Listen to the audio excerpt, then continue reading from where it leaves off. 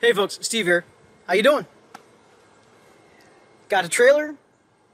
Got a lot of stuff out. I'm just gonna put this stuff away.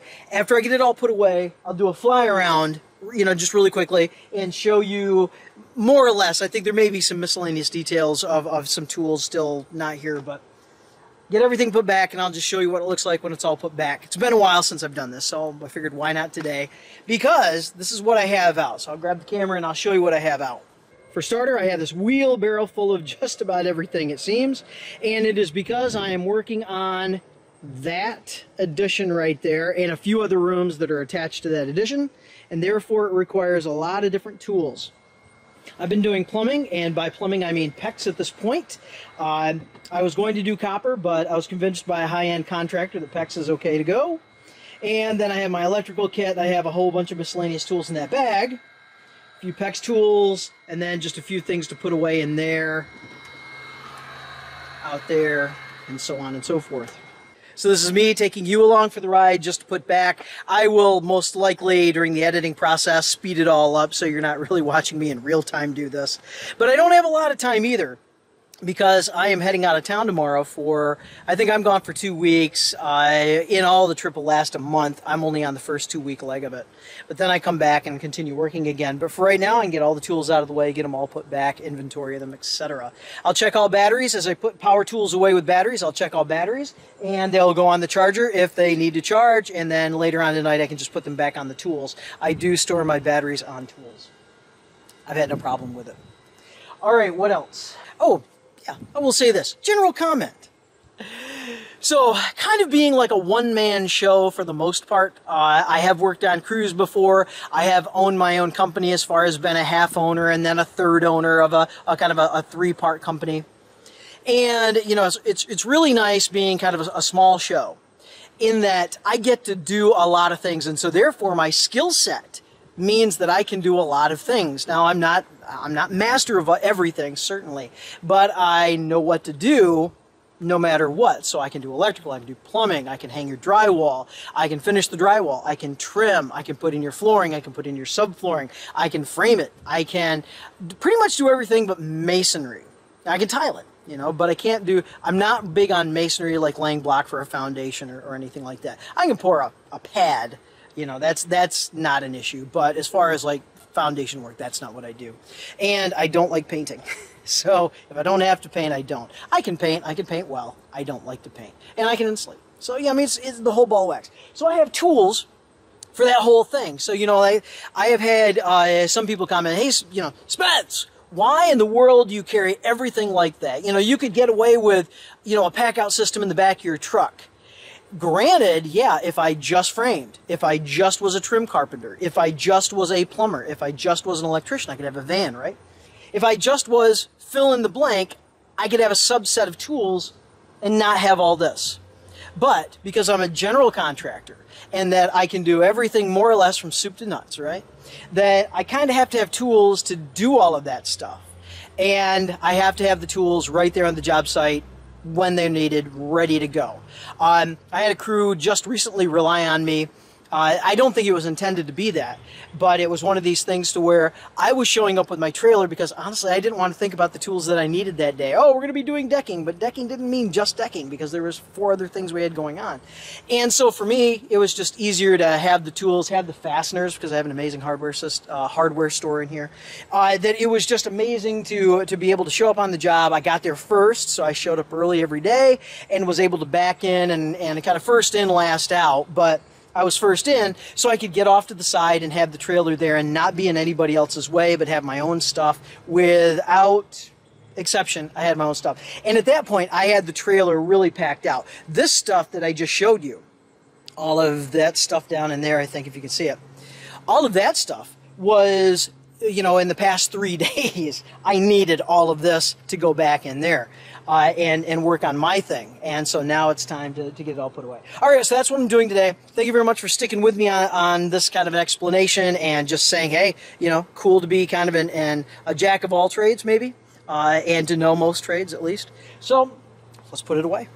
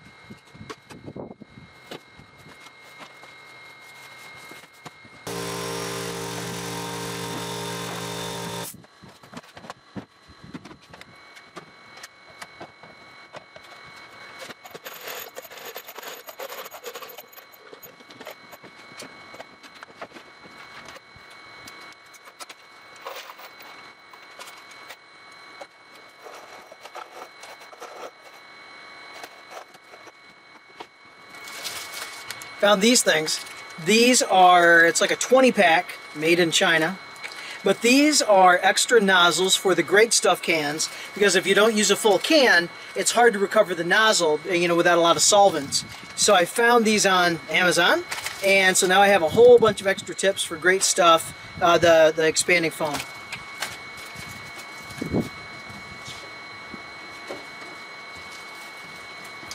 And I have this largely empty container here where I have extra uh, those kind of swizzle sticks for the precision spraying of like WD-40 and other solvents like that that I bought some extra ones online again. So, neato.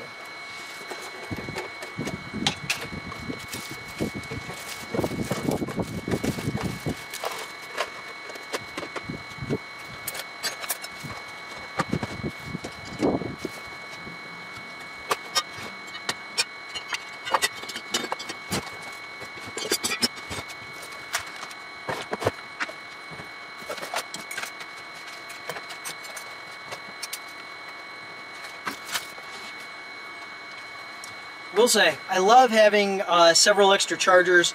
Uh, I certainly have a bank of the ability right now to charge eight batteries at a time without plugging my radio in. And then I have three extra of these from various kits over the years. And so to have one, two, or three of these to take into a job site and just charge while you're in the job rather than running out to the trailer is uh, convenient. I will say it is convenient.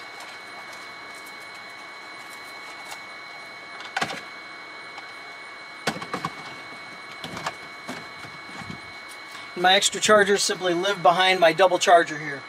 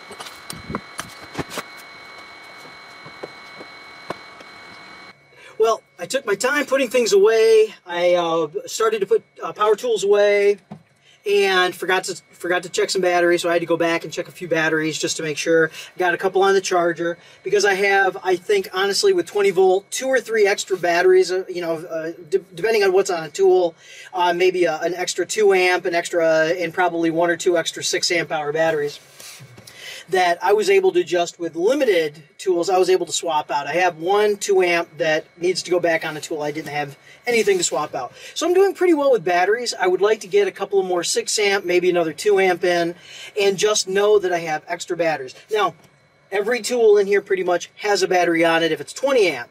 If it's uh, 6 or 20 volt.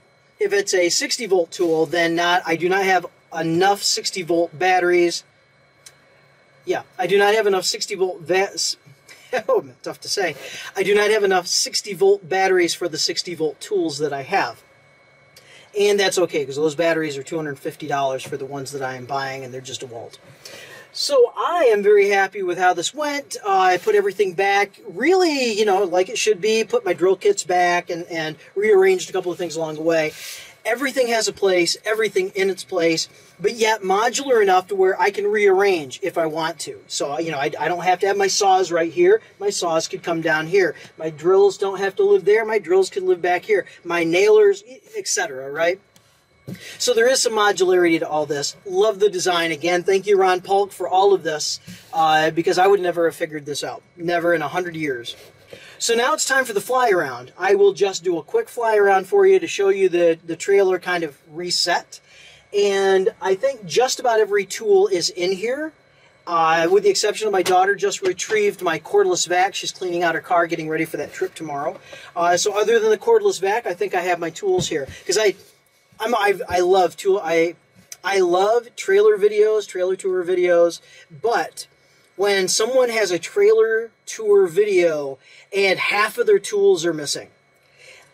If it's just about how the the the, or, the, the, the physical organization is and not about like where the tools are, then of course it's very appropriate. But if they're just telling me, well, that would have been and this would have been and that that tool would have been a I would rather see the tools in there. But as a working contractor on multiple job sites, I get why your trailer is never 100% complete. So, with all that being said, here's the fly around.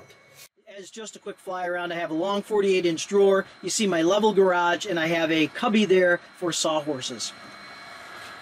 And I have a vertical large tool garage because otherwise, with the narrowness of this trailer, I couldn't get my big tools out. So there are my two big tools, corded both of them. Variety of grab and go hand tools, all arranged there framing squares, speed squares, bevel tees, and the standard issue bank of tape measures because everybody needs them. I have up here, I have my tracks for my track saw, a couple of T-squares for drywall. Taking advantage of the other space up there, I have my miter box stand. Moving around, I have all of my PEX material and tools, and then I have the kind of the, the bulk, I guess you would call it. This is the bulk hardware store, and you can see that everything is nailed all the way down. There you go. And I'll just pull one of these out to show you what I mean by bulk. So if I want to access it, I'll just pull that drawer out and I'll leave it hanging. It's strong enough to take the weight. And then what I mean by bulk is simply this Milwaukee organizer and then I just fill up the trays with whatever. And in this case, these are all exterior screws, uh, small to big, and a couple of different styles, as an example. I only need to lock that end because once it is in, then uh, this lid really can't come out. Also, behind some of these pack, or these are not packouts, I'm sorry. Uh, behind some of these organizers, I do have a little bit of overflow. So I was filming this fly around after the uh, organization in my, the internal temp on my camera was too high and it shut itself off. So I'm just going to finish up with my phone because I need to, I've got a lot of things yet to do today and I want to wrap this up. All right, so back where we were. So as I was saying on these pack out, excuse me, as I was saying on these organizers, behind the organizer, I do have the luxury of a little bit of extra space where I can store some small boxes of additional screws. So it's kind of like overflow. And I don't do that on every one of them, just when I have overflow. All right, so then over here is what I call the small tool garage. I have my Forstner kit. I have, uh, that's one of my two laser levels, my radio. Behind all of that, I have some drops and towels and plastic and so on and so forth. All things drywall here, pans, sanders, big knives, all of this. Then I have a few kits that I've put together, doors and windows, picture hanging kit, and that right there is for all of the uh, installation of trim and cabinets the real uh, the big thing that I'm so very very pleased with is that hardware store. That's the one drawer I almost always open up to show off and when I open it up and show it off, I'm just ever so pleased with this. Ever since seeing Ron when he opened up his hardware store and had all the Vutainer bottles uh, all organized with all the little bits of hardware, I thought, man, I got to get one of those. So this is how I've organized all mine. And predominantly, I was always wanting washers on a job site, never had washers. So now I have washers. I also have a battery of nuts of different sizes, and then all of this miscellaneous hardware here, you know, just anything and everything that I had more than one of that could fit in one of these four ounce jars that I that I bought from Amazon like 50 cents a piece or something like that. All right, then you can see everything else labeled up down here all the way down through to basically the bottom where I have uh, just air nails. Um, actually, they're, they're no longer air nails. They are uh, nails for my cordless uh, framer and all of that stuff. Hand specialty tools, and you see that. I also have up here around the corner, you can see this is all labeled. I have an additional hardware store and some chemicals and, and such like that. So if I go around that corner, this is what I am looking at. So I have all of these jars of additional hardware. These jars are larger. These are 8 ounce jars. And so like wood screws, self-drilling screws, all of that kind of stuff. And it goes from 6 up to 10 or 12. I don't have every size but you get the idea. Okay, so I have a nice hardware store. Then I have just boxes of things that I've never bothered to put in jars yet. And then I start to get into specialty and overflow where I had just boxes of stuff, boxes, and then eventually down there chemicals and glues. All the extension cords that I have in the trailer are right there. Blower, two-step because I'm like four foot tall chemicals in one of those uh, narrow, what I call a Vutainer shelf uh, storage system, but I don't have any Vutainers. All of that is my plumbing. That's my grab and go plumbing box for new installs and repairs. And here, the uh, it's up here at the nose of the uh, trailer because I have the V-nose. Uh, I have three. I don't know why I don't have four sawhorses, but I have three sawhorses and my table saw stand if I'm uh, remote. I have here my elect. There's my carpentry belt. Behind it is a seldom used electrical belt now and just an electrical grab and grow, grab and go kind of insert that goes into that Klein bag down there, which is my electrical bag. First aid, my spider drill kits, my Lenox plumber's kit, I guess. 100, 100 foot, 150 feet of air hose ready to go on a reel, and that would go out of that hole in the floor. 100 foot 10-3 extension cord, which powers the trailer, which goes out of that floor, and then pigtails into the trailer. While I'm down here, compressor lives right there. It never comes off the trailer. It lives on the trailer. And then I have a couple of those uh, kind of uh, mortar mixing tubs. Then I get to the cubbies. So before I get to the cubbies, you see just up in here I have clamps, you know, any and all clamps that I have pretty much right up in there. There's the long track for my track saw. Extra clamps that work with my uh, Paulk workbench. So in the cubbies, here I have a cordless framer, I have an air roofer, air palm nailer. Down here in the smaller cubbies, I have the 16 gauge, the 18 gauge, and the 23 gauge headless pin, cordless nailers, and I do have an air stapler. Back up for sanders, I have a corded, I guess it's a Makita, and that is a 4x24 belt sander. Down here I have the cordless palm and the orbital, and then behind there I have all the sandpapers and uh, the punch out and everything else. In this empty bay here is where that cordless vac is. Cordless six and a, uh, six and a half inch. Back there is a corded Ryobi that I have set up for masonry. Oh, reciprocator, reciprocator, obviously hearing protection. Power planer, 60 volt worm drive. Power mixer back there, uh, so that's a, a, power mixing drill, 60 volt. Uh, SDS rotary hammer, big joist drill, kind of like a Hole Hawg. Uh, that's my electrical staple. That's my cordless electrical staple stapler. And just a little extra storage. Here's that overflow battery stuff. Here's my chargers and all. Down here, a couple of cordless, all this is cordless. So flashlights, uh, driver drill, driver drill, driver drill, uh, impact wrench, and a right angle drill behind there. And those are my two drywall uh, tools. That's my, uh, uh, it's not going to focus. Back in there is my, uh, back in there is the drywall router, and then that's my drywall gun waiting for its battery. 60 volt track saw, seven and a quarter inch, uh, 20 volt cordless, multi-tool. Man, that thing is this. It's a lovely carpentry surgical tool. Corded router, and behind it is a cordless router. Two cordless jigsaws, one set up with a Collins coping foot, one with a flat deck. 60 volt grinder, and then we're back to manuals to make me look smart, and then all of that. You see down here in drawer bank one, it's labeled again. I'm not going to open these drawers up. All the way over. Drawer bank two, uh, middle cabinet. You can see it's labeled all the way down. And then drawer bank one. Well, actually, it's a drawer bank two. It's just a different cabinet again. Kind of the prime real estate there with a whole lot of extra stuff. You know, just stuff not necessarily miscellaneous, but it's not stuff that I have to go to all the time. And then just pretty much everything else, my electrical drawer, everything drilled down here at the bottom. At the end, cleaning chemicals, some other stuff, first aid. That down there is a six foot drawer, and then down there it's road, road forward, but I also have a six foot level. I have air on the back of my trailer, which I was using earlier to blow off tools. That outlet is always hot if it's if the trailer is plugged in, and then that light switch controls all of the lights. which are actually just plugged into basically a, uh, a switched receptacle. And then I just had that plug-in LED to light the countertop. On the countertop, lots and lots and lots of pencils, notebooks and such. A couple of extra, whoops, there we go. Extra markers, tweezers and such, some grab and go tools on magnets, and they do not fall off by the way, glues and such up there.